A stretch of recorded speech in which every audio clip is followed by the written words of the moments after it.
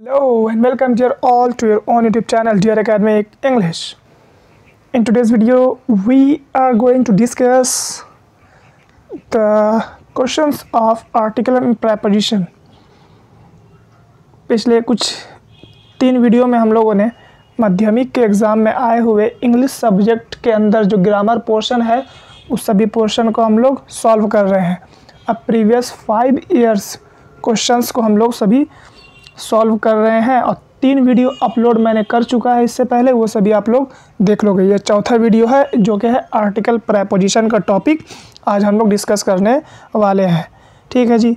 सो so, पहला question है without any late and wait let us start the topic the first question is पहला question क्या है? Article preposition का। देखो when John arrived when John arrived dash इस dash के अंदर आर्टिकल या प्रेपोजिशन भरना है। मुंबई।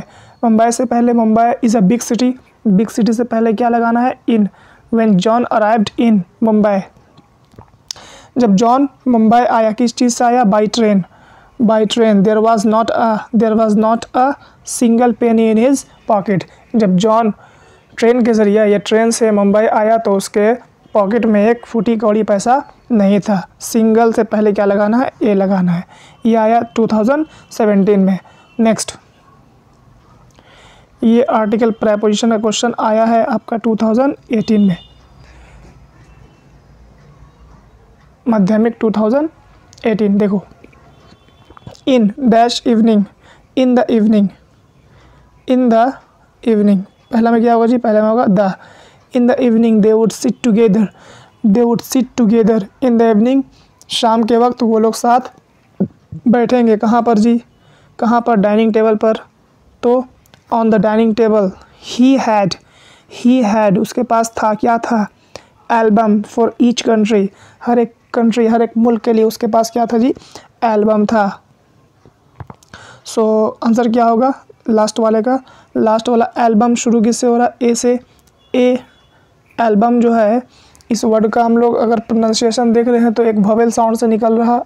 एल्बम ए है ए इज़ अ ववेल और ए का आवाज़ भी ए ही की तरह निकल रहा है। That's why we have to put here an he had an album और एल्बम कॉमन नेम है, क्या लगा लेंगे उससे पहले? ए या एन एन का यूज़ होगा क्योंकि ववेल है।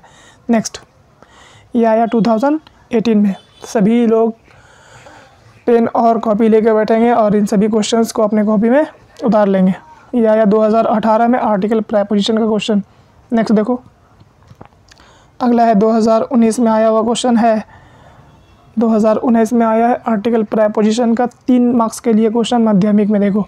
Sunil dash young driver jumped dash the river and saved dash drowning and saved the child dash drowning ठीक है जी।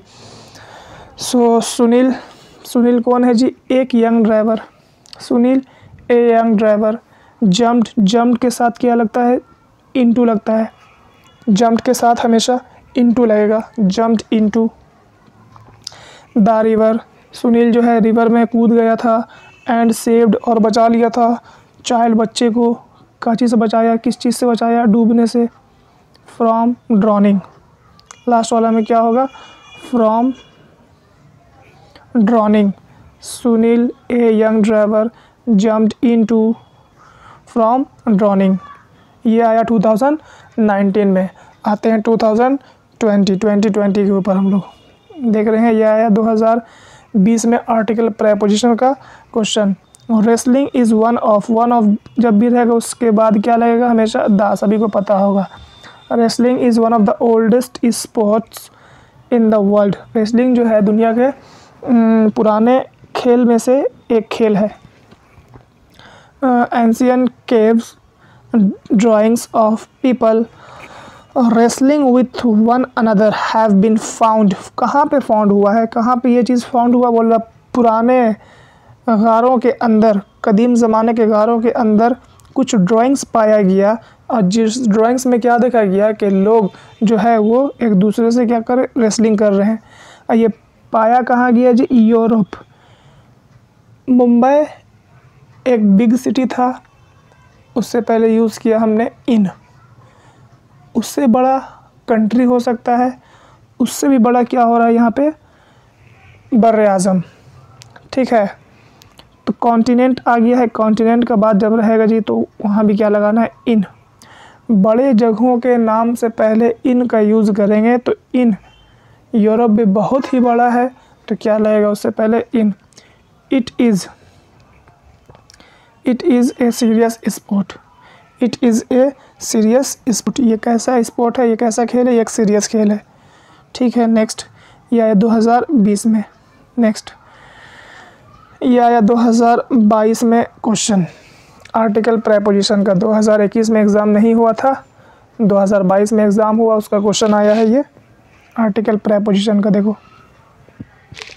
My neighbourhood is a very interesting place मेरा पड़ोस जो है बहुत ही इंटरेस्टिंग दिलचस्प जगह है।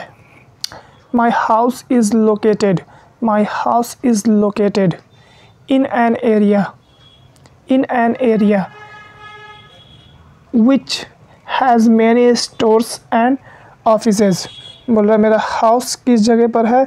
मेरा हाउस एक ऐसे जगह पर है जहाँ पे बहुत ही ज़्यादा स्टोर्स और ऑफिसेज हैं। नेक्स्ट है the biggest store is only five minutes walk only five minutes walk कहाँ से बोला? सबसे जो बड़ा स्टोर है, मेरा घर से पाँच मिनट की दूरी पर है। तो मेरा घर से से मतलब फ्रॉम से मतलब फ्रॉम पहला में ए इन फ्रॉम सो ये था पाँच साल का previous year question article preposition का। सभी दोस्तों के साथ वीडियो को शेयर कर दो। इससे पहले मैंने तीन वीडियो अपलोड कर दिया है उन सभी वीडियोज़ को आप लोग देख लेना। वो कुछ करेक्ट फॉर्म ऑफ़ वर्ब है डू एज डायरेक्टेड है एंड समथिंग ठीक है जी? सो so, वीडियो को लाइक कर देंगे शेयर कर देंगे एंड सब्सक्राइब कर लेंगे चैनल को।